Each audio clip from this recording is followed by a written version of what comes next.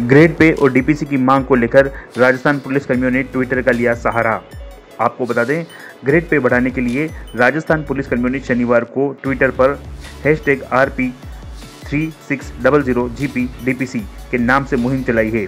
सुबह करीब 10 बजते ही यह हैशटैग पूरे देश टॉप ट्रेंड करने लगा। इसे करीब दो दशमलव ज़ीरो पाँच लाख लोगों ने ट्वीट किया। साथ ही पुलिसकर्मियों ने कुछ फ़ोटो, वीडियो भी अटैच किए, जिसमें उन्होंने कोरोना के समय अपनी हार्ड ड्यूटी को बताया है।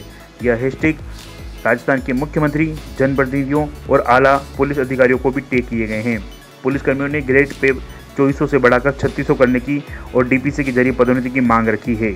पुलिसकर्मियों ने अपनी मांगों को लेकर कुछ समय पहले मैच का भी बहिष्कार किया था। अब उन्होंने शनिवार को फिर से अपनी मांग सरकार तक पहुँचाने का प्रयास किया है।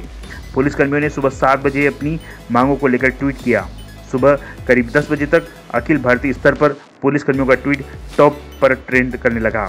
पुलिसकर्मियों ने रोचक तरीके से ट्वीट के साथ ही कुछ तस्वीरें भी पोस्ट की है। पुलिसकर्मियों ने इस अभियान को कई विधायकों व कई जनप्रतिनिधियों ने भी समर्थन किया है।